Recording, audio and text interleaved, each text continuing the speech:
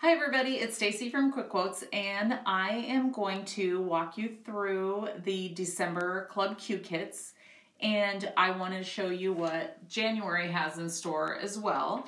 What we're going through today is the December kit, so we have Oh Holy Night and we have the Merry Christmas Elf. If you are a Club Q member, we thank you, thank you, thank you for being a member. And if you're not, this is an easy way to get Quick Quotes kits shipped to your door every single month. Um, we send we we do a video every month so that we can walk you through step by step. You get four pages, so two double page kits plus a paper pack every single month. Check it out at our website, um, shopquickquotes.com. There's also an option to skip and um, opt out on months too. So you don't have to take the ones that you don't want, but you get a ton of stuff in your first shipment because you get lots of free stuff also. So check that out. Uh, I want to show you also what we have in store for January. We have this beautiful Paperline um,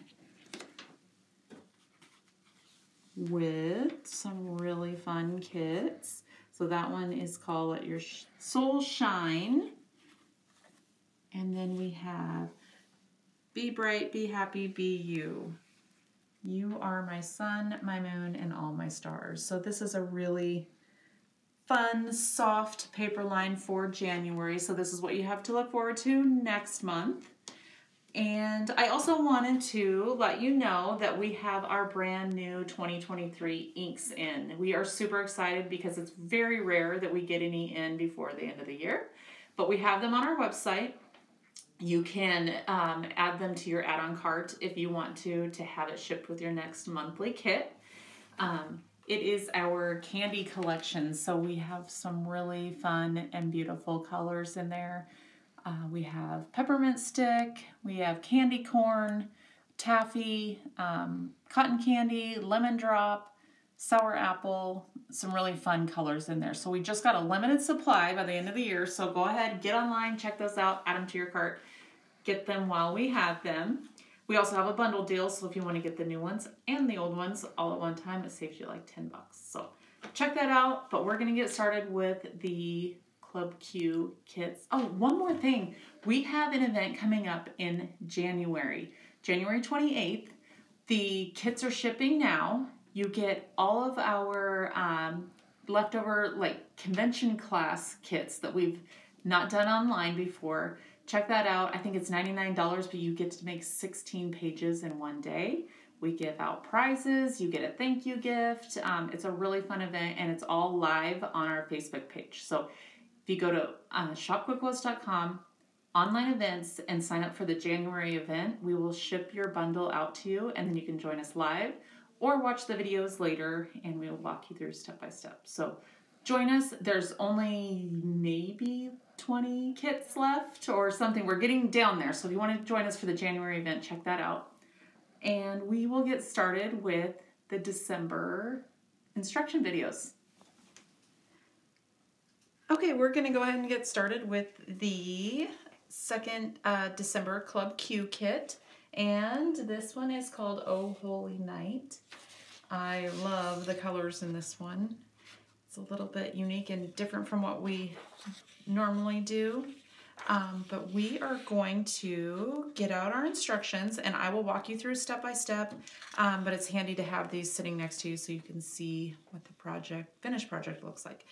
Uh, the inks that we suggest are Fields of Green and Coal Miner, but we also got our brand new inks in, and in that pack, I'm to show you here, we got a limited supply of inks in, and um, our 2023 is called the Candy Collection.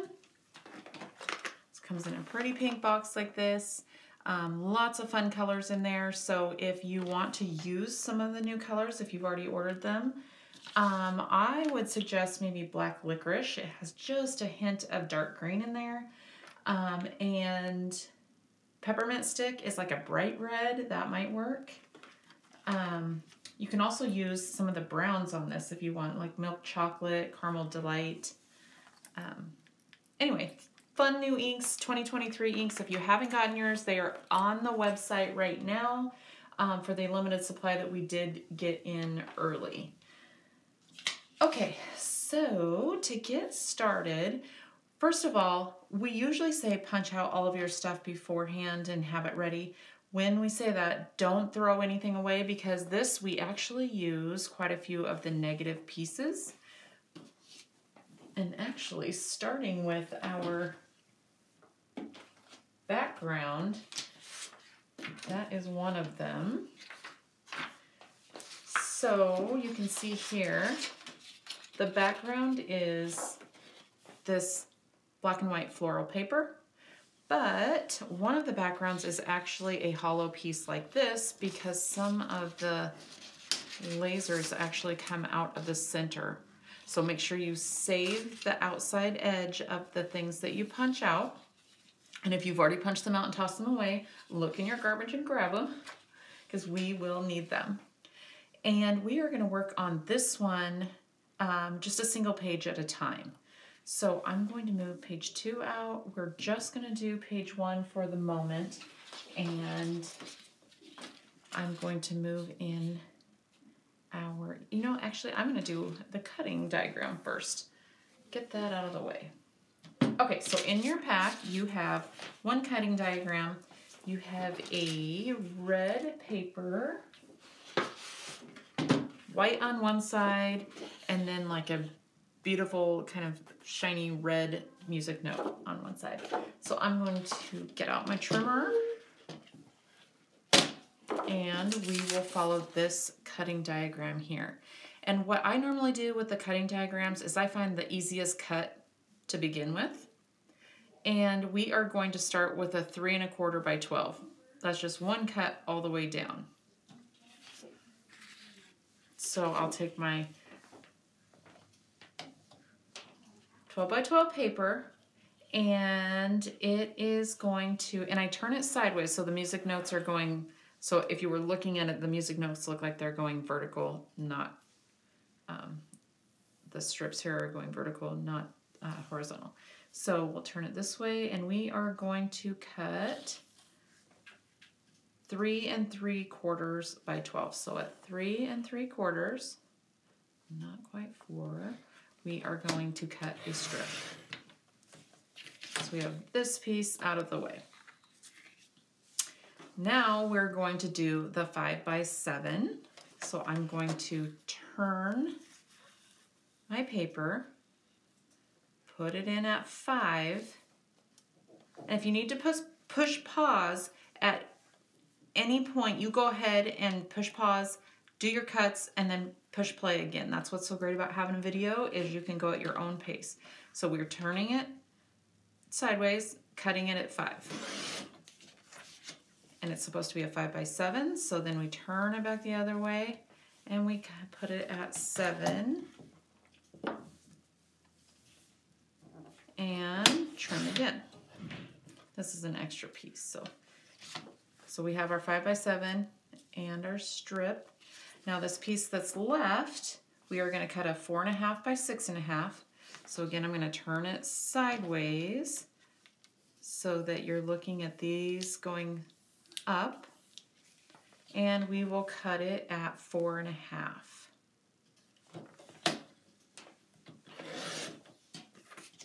And then we need it six and a half long, so we turn it, put it in at six and a half, and trim.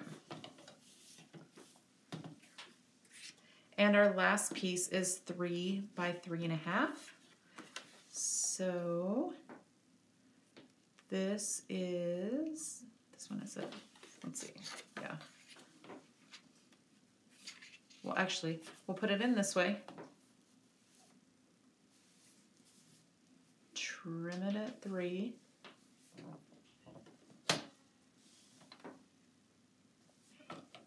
Hang on a second, don't, don't make that cut. I wanna make sure that this is, yeah, okay.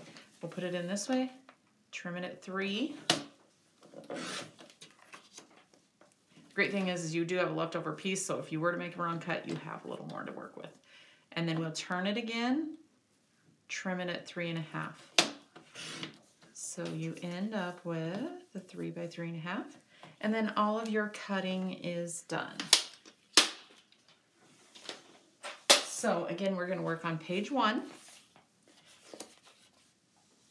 Let's grab one of the backgrounds and it doesn't matter which one because this square is actually going to be covered up.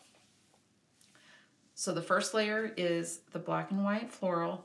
The next layer is actually, I don't know if I can show you this, but the next layer is also from a die cut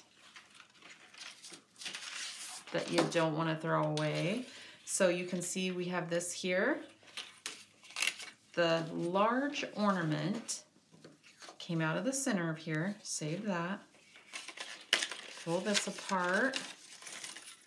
And this is the piece that is going to go on to your back. Christmas words on it, some Christmas fonts. That gets adhered right in the center of that. And as we go, you chalk things up as you would like. So actually I will use, I'm gonna grab black licorice out of here just so you can kind of see what color it is. I'm so excited about these new colors because it's the candy collection. So we have like peppermint stick, uh, caramel delight, cotton candy, deep, or I'm sorry, not deep sea. That's one that was already sitting here. Deep sea is a beautiful color. Uh, taffy, cotton candy, lemon drop, sour apple, sugar plum. Lots of fun colors in there. So this one is actually black licorice and it has, it's black, but it has just a hint of like a dark green blue kind of color in it. So I think that this one would go pretty well with this kit. This kit is a real, like, kind of elegant, Christmassy look. But this is kind of a dark blue with a little hint of green in it. And I just run it down the side. It can be messy. I put a little more on the corners just to add that little extra dimension there. I'll, add a little more so you can really see what that color looks like. But you can see it's a black with just kind of a dark greenish blue in there.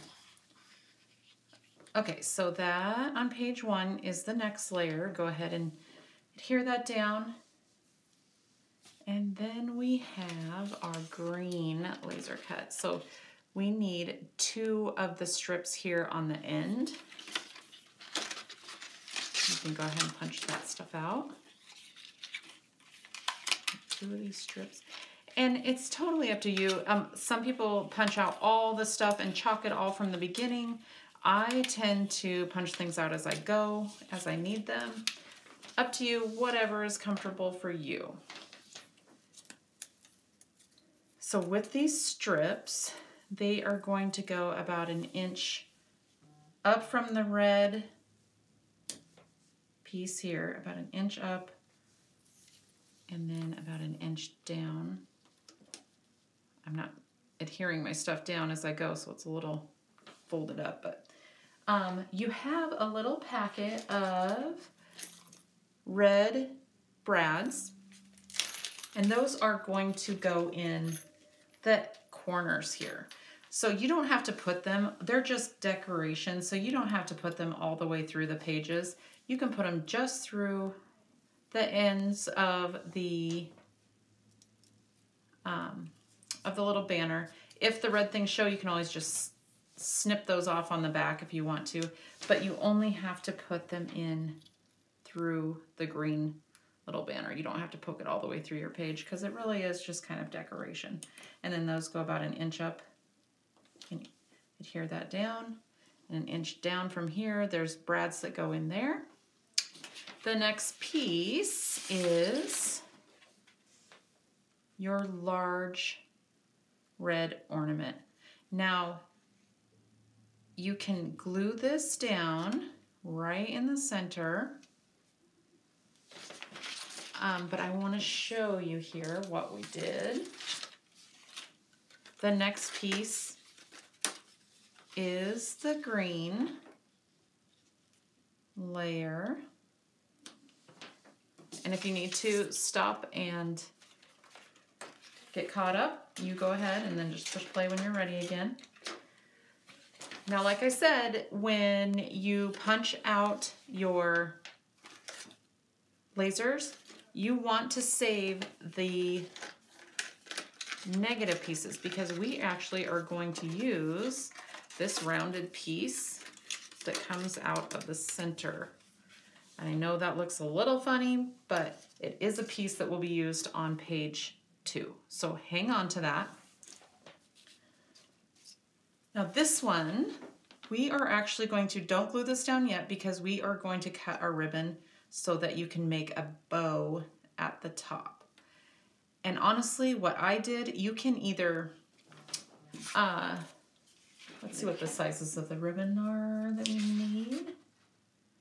Two four inch pieces and one 13 inch. So the 13 inch is what will be used on this. So you wanna cut a four inch, go ahead and measure out four inches. I'm gonna do about right now, but you can measure out four inches, four inches, and then you have 13 to make your bow. So you can, if you want to, put your ribbon through this little hole here and make your bow. But what I am going to do is glue this down and you only want to glue the outside edge because we are going to slide something in behind these trees for your photo. So only, you can glue all these layers down, just do the outside edge. And what I'm gonna do is I take this about a third of the way in, make my bow.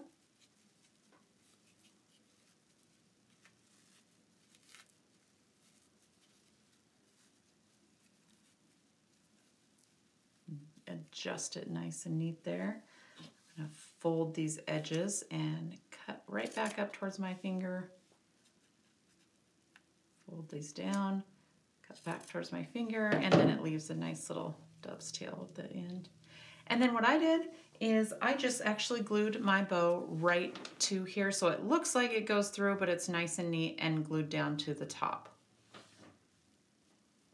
Okay. So again, make sure you don't throw this piece away that comes out of the ornament. And then your photo backer that goes inside there is, again, there's a laser here. This pops out of the center and we are going to use this piece for a photo backer. So don't throw that piece away. And you cut a, get the right piece here. out of your cutting diagram, you cut a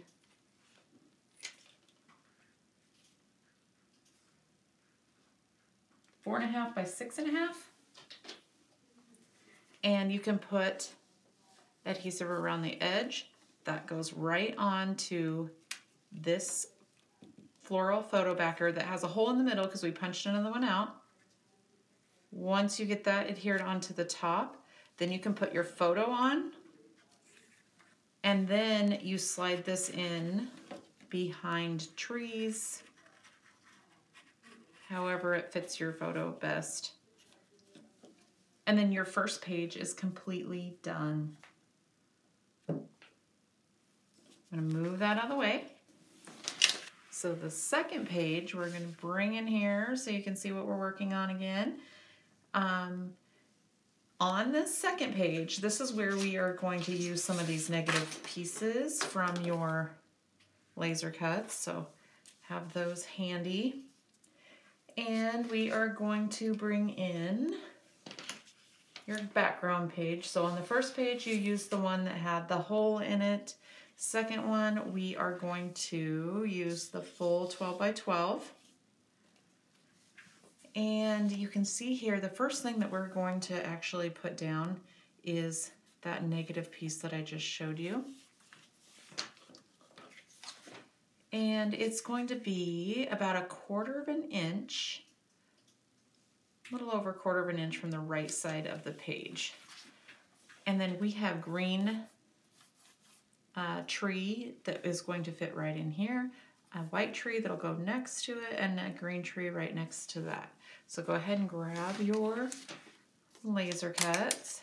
There's your little white tree. And I'm just placing these right now so that we can pick them up and use them and glue them down once we get them in the spot that we want them.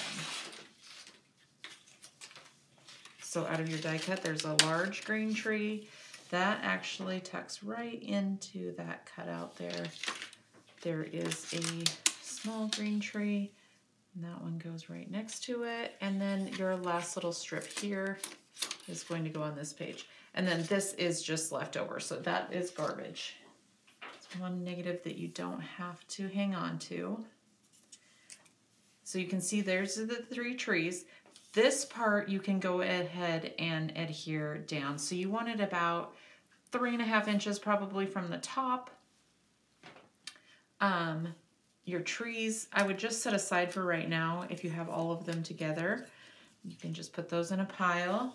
And then your strip of red that you um, cut out in the very beginning, that is going to go across the bottom. So about a half an inch up from the bottom.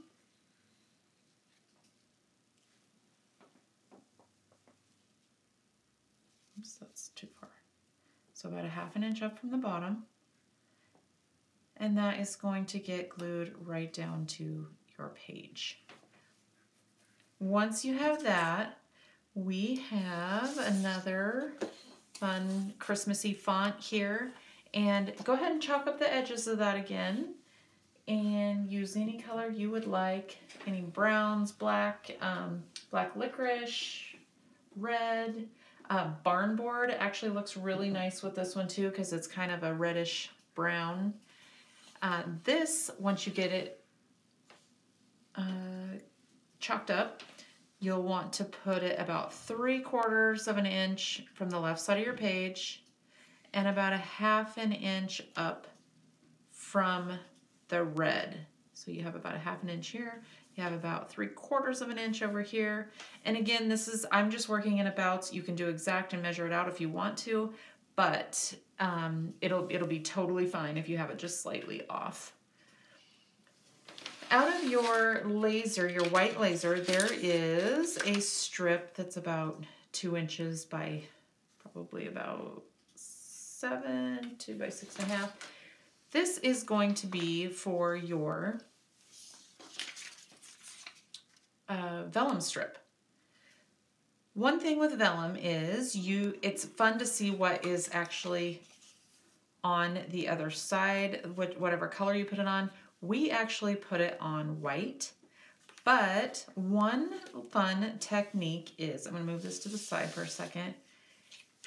I would take a color, you can leave it totally just like we did, and we put no color behind it, we just chalk the edges of the white paper, or you can put a little color and make the, you can either do it, let's see if you can see that.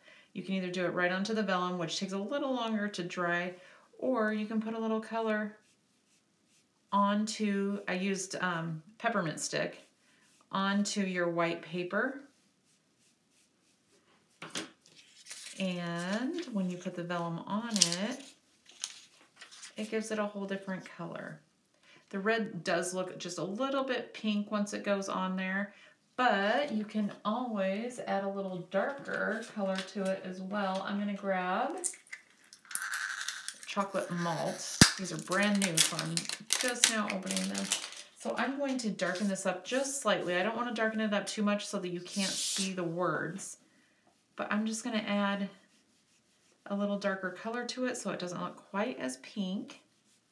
This is what's great about vellum is that you can put it on whatever color you want and it brings a whole nother color into it. It shows through the vellum. So once you have that like, like you like it, um, you could even make it a little darker by adding a little black or gray behind there. Um, let's see, do I have, I might make it just slightly darker. And I just did the one word too. You can do the whole thing. two different colors. Oops. But it just kind of gives it a fun, different look. Once you have the color that you would like, the black part of the vellum you want to put right at the edges of your white paper and we are going to wrap this around and the glue goes on the back side so it doesn't show through your vellum. So this folds around. When you flip it over, your adhesive goes right here and then you never see the adhesive through your vellum. So those are a couple fun tricks with vellum adding color on the back side of it, and then wrapping it around something so that your adhesive doesn't show. Okay, and then that gets glued down. And actually, you might want to place your trees. I would place our trees before we actually adhere this down.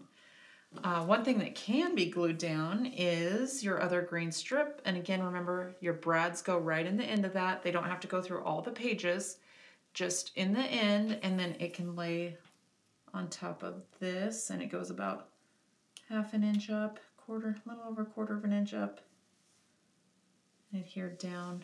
And then your trees can get glued in. That goes, the bottom part goes over the red and then right into that opening. And it looks like maybe the green one went on next. These you can glue down. And then your white one.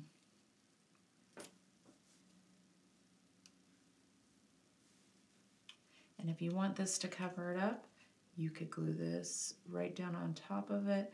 We do have a photo backer that kind of slides just a little bit behind here. So I would just put on the back side of this, just put maybe adhesive across the bottom and then the side here. So then you can slide your photo backers in once you get pictures on them. Okay, and then from there, it's just adding your photo backers and your photos to the page and chalk these up however you'd like. But you have another Christmassy font that goes on your last piece of the large red um, music notes. That goes here. It goes about centered in the larger, centered in the middle of this piece, but about a half an inch from the top of your page. And then from your die cut, you have some, you have one small red piece left, and you have a couple of photo backers from your die cut. Punch those out, and this piece is garbage, so you can throw that away, That's your piece. So with what is left, your little red piece goes onto the smaller floral. And that gets tucked right in here after you get a photo on it. And again, I would get your photos on and kind of place things before you actually adhere them down so that you're not covering up, you know, the best part of your other photo here. Because you can always, um, once you get photos into you can always adjust, move these around a little bit so that you have um, space for the photos that you want to show. And sometimes, like this one is on the page going horizontal, but if you have a photo that works better like this, there's also room for that. Just scoot it closer to the edge. Maybe move this one up and out a little bit. Um, totally up to you and the pictures that you have. But super simple, nice, elegant Christmas kit. And uh, I hope you like it for the December Club Q. And thanks for being a member. And if you're not a member, check out our website, shopquickquotes.com. Go to Club Q and you can get monthly kits shipped to your door. Thanks for joining us this December, and I hope you enjoyed the kit.